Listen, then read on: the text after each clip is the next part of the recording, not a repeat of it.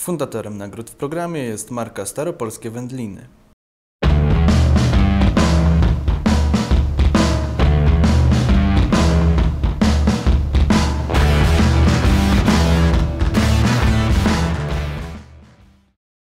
Zapraszamy Państwa na Wojnę Smaków. W pierwszym odcinku wyzwanie kubków smakowych podejmie Hotel Pałac Jugowice. Witam Państwa bardzo serdecznie. Jesteśmy w Pałacu Jugowice, nowym czterogwiazdkowym obiekcie, czterogwiazdkowym hotelu e, u podnóża Gór Sowich. Chcielibyśmy dzisiaj Państwu pokazać e, cały obiekt, który już funkcjonuje na naszym rynku od e, maja 2012 roku i prężnie rozwija się tutaj na tym, na tym terenie. Na dzień dzisiejszy mamy do zaoferowania Państwu część hotelową i restauracyjną, ale już niebawem otworzymy całe nowoczesne centrum spa razem z basenem, które jest właśnie w trakcie budowy. Powiemy też kilka słów o restauracji, jak i o naszej bazie noclegowej oraz rzeczach, które dzieją się w naszym hotelu.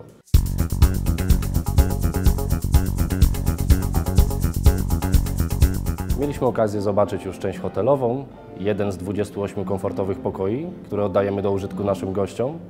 A w tym momencie jesteśmy w naszej restauracji, która mam nadzieję jest jednym z najlepszych miejsc tutaj w okolicy.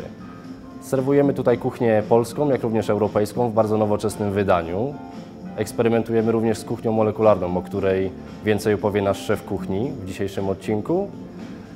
A nasza restauracja, jak również hotel jest doskonałym miejscem do organizowania różnego rodzaju przyjęć weselnych, spotkań biznesowych czy, czy innych eventów. Wszystkie informacje o wydarzeniach, które mają miejsce w naszym hotelu mogą Państwo znaleźć na naszej stronie internetowej, na którą serdecznie zapraszam, jak i również na naszym fanpage'u na Facebooku. Przejdziemy zatem do głównej części naszego programu. Zapraszam Państwa na naszą kuchnię, gdzie nasz szef przygotuje specjalne danie dla Państwa. Witam serdecznie Państwa, Przemysław Kuśnierek, szef kuchni restauracji hotelu Pałacu Jugowice. Chciałbym dla Państwa dzisiaj przygotować e, potrawę, która znajduje się u nas w karcie menu. E, Będzie to sezonowana polędwica wołowa, gotowana metodą sous w próżni, e, z sufletem ziemniaczanym, e, z musem z pieczonego buraka e, oraz sałatką z rukoli e, i konfitowanego jajka. Do dzisiejszego da- dania będziemy potrzebować główny składnik polędwicę wołową, sezonowaną, e, rukole, e, kwiaty nasturcji, ziemniaki, e, ser gorgonzola, cebulę, bułkę tartą, koperek, buraki, jajka, e, ser grana padano, masło, e, oliwę, wino białe i śmietanę. Dzisiejsze danie zaczniemy od przygotowania pieczonych buraków. Obrane buraki nakładamy na folię. Będziemy je doprawiać solą i pieprzem. Ja tutaj używam akurat sól himalajską do swojej kuchni, ponieważ jest najzdrowszą solą na świecie.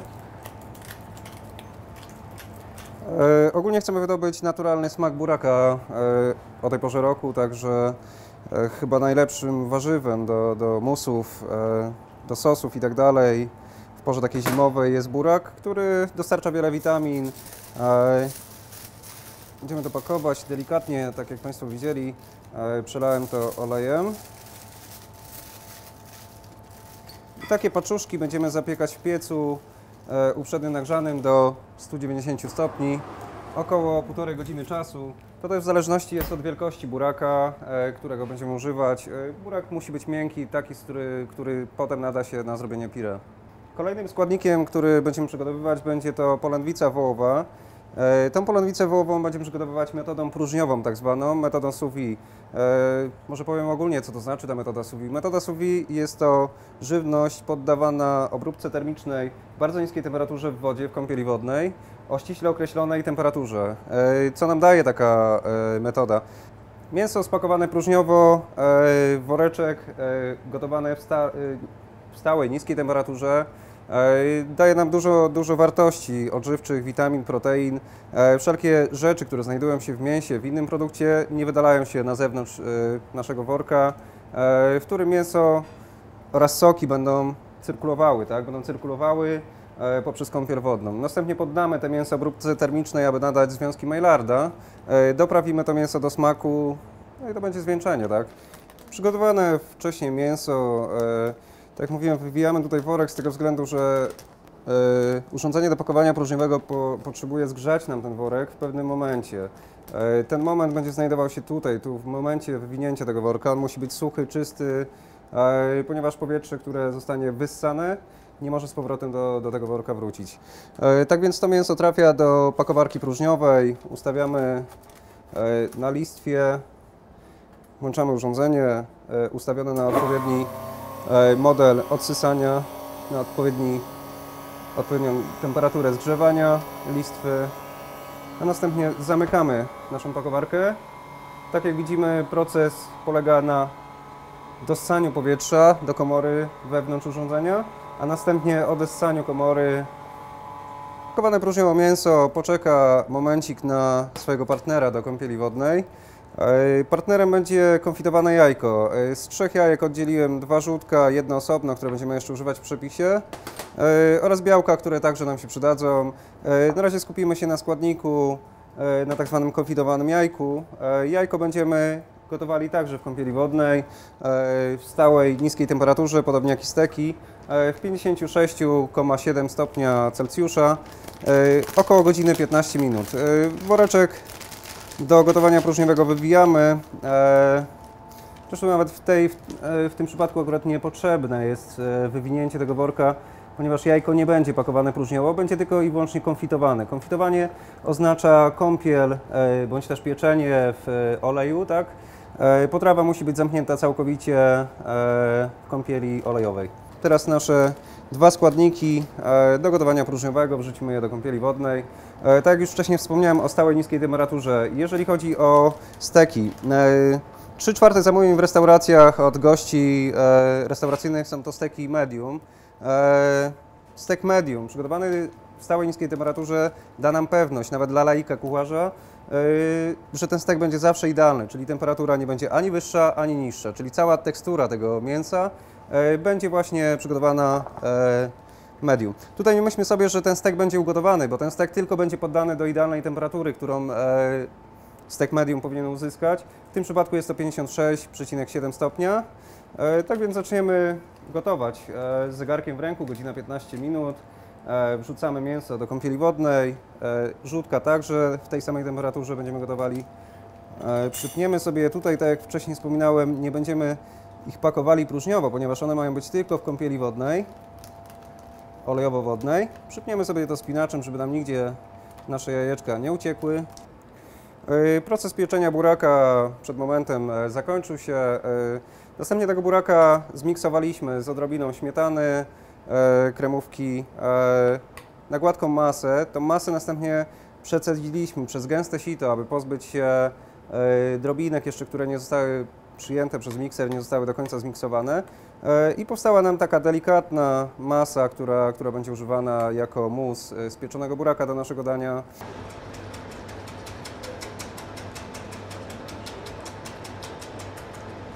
Do przygotowania kolejnego składnika y, będziemy potrzebować posiekany koperek, ubite białko, które pozostało nam z jajek konfitowanych z trzech jajek, jedno żółtko, które połączymy z pire ziemniaczanym oraz y, ser grana padano, który również trafi do pire ziemniaka, do którego również trafi nasz pokrojony koperek.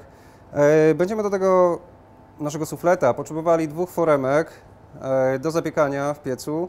One są wysmarowane wcześniej e, masełkiem, posypane bułką tartą, nadmiar jest wysypany. Następnie nasza masa trafi do foremek oraz będzie wypiekana w piecu w 190 stopniach około 15 minut. Do kolejnego składnika e, będziemy potrzebować e, ser gorgonzola, cebulę białą, śmietanę, kremówkę, wino białe oraz olej. E, W swojej kuchni używam oleju rzepa- rzepakowego, żadnej oliwy z oliwek, chyba że zamieszkam 50 na 50, ponieważ smażenie na samej oliwie z oliwek nadaje gorzkawy smak potrawie. Tak więc zaczniemy od pokrojenia cebuli w drobną kostkę, którą następnie będziemy smażyć na rozgrzanym oleju. To niewielkiej ilości, ponieważ e, ser sam w sobie jest e, tłusty, e, więc aby kaloryczność tego dania nie była zbyt duża, użyjemy bardzo mało tego oleju.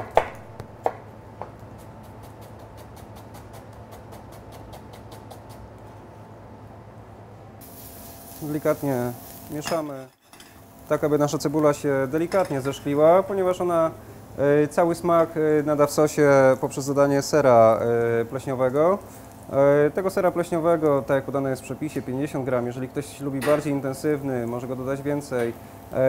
Ser dlatego też jest starty, żeby szybciej się nam tutaj rozpuścił, ale nie możemy doprowadzić do momentu, gdzie ten ser się zacznie rozwarstwiać oraz tłuszcz, który jest zawarty w nim, zacznie się nam niepotrzebnie tutaj redukować. Nie dodamy białe wino, e, około 50 ml oraz podkręcimy troszeczkę e, gaz, żeby to wino nam się zredukowało, tak? czyli nadmiar al- alkoholu, żeby odparował. E, sos, jak widać, e, ser nadaje barwę białą, tak? cebula jest zeszklona. Brakuje nam tu tylko zwieńczyć to smakiem, czyli doprawić to solą oraz pieprzem. E, Soli nie za dużo, z tego względu, że e, sam ser w sobie już jest e, słony. Poczekamy, aż nam się winko delikatnie zredukuje. A następnie dodamy śmietany kremówki.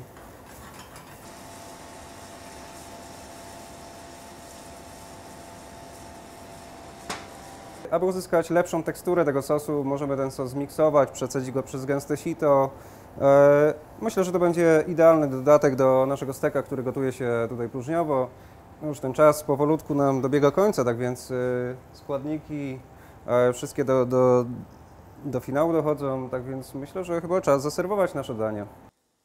Tak jak widzimy, mięso zachowało też swoją pierwotną, e, pierwotny kształt, taki jaki nadaliśmy przy formowaniu, przy wkładaniu do woreczka foliowego. E, tego steka de facto będziemy już tylko zwieńczać na patelni.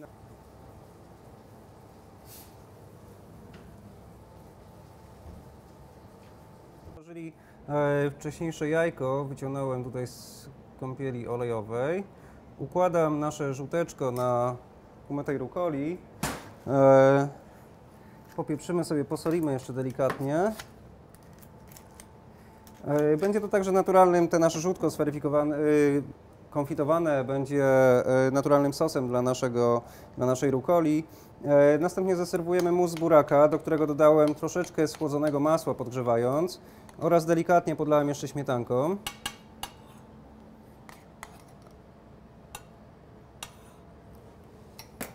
Następnie nałożymy nasze ciepłe suflety ziemniaczane oraz zaserwujemy nasze steki. Te nasze kuleczki ułożymy sobie tak, aby rozlały się na naszym e, prezentowanym tutaj daniu.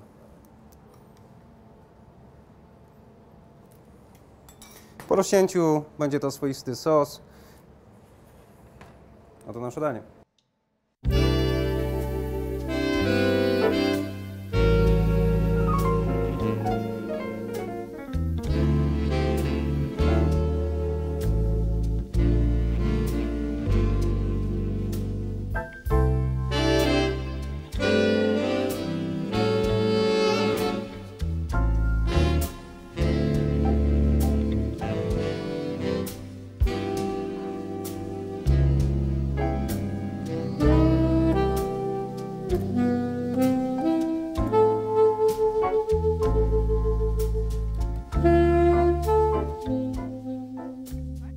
Sponsorem upominków są Dolnośląskie Hurtownie Wędlin Stefan, główny dystrybutor marki Staropolskie Wędliny na Dolnym Śląsku.